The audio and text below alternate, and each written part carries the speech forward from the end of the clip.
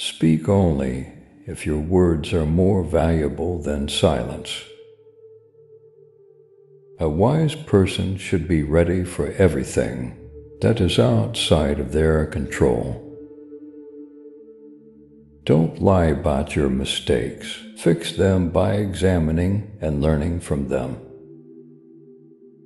A wise person is recognized by their quietness, and a fool by their talking. It's better to keep quiet than argue with someone who lacks knowledge. Man's soul is split into three parts intelligence, reason, and passion. Be quiet and listen. Let your mind learn and understand. Don't say or do anything when you're angry. Always pick the path that seems best, even if it's rough. With time, it will become easy and enjoyable. Always be fair and honest in your actions and words, and don't do things without thinking about them.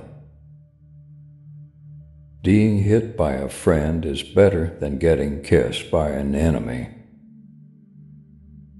A person who doesn't enjoy their own possessions is not truly wealthy. Review your day three times before bed. What did I do wrong? What did I do well? What did I forget? Saying yes or no may seem simple, but sometimes they require the most consideration.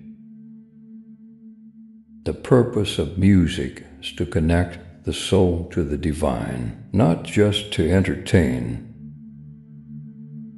Silence is the first building block of wisdom. Friends should help each other on the path to a happier life. Numbers can guide a person toward reasoning. Respect yourself and others will too. Every word and action has a lasting effect that will echo into eternity. We should motivate us to take action not make us feel down. No one is free if they can't control themselves.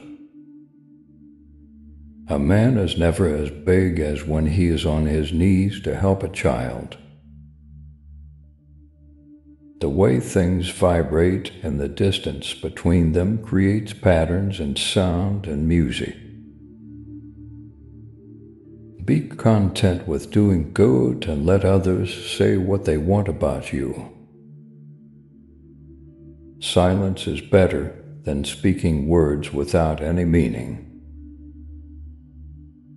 When laws are needed for people, they are no longer free. Friendship is having the same soul into different bodies. Respect yourself above all else. Focus on speaking fewer words to convey more meaning. Teach the kids right, and there won't be a need to punish men. To heal a hurt heart, handle it gently like an injured eye. Only hope and patience can cure a soul's pain. Never trust a man who speaks ill of his comrades.